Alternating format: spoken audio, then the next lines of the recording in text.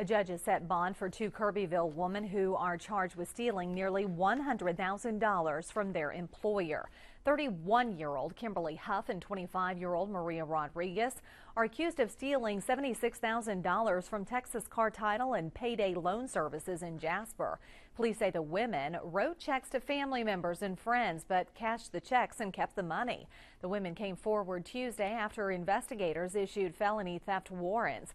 Hough's bond is set at $25,000 and Rodriguez faces an $8,500 bond.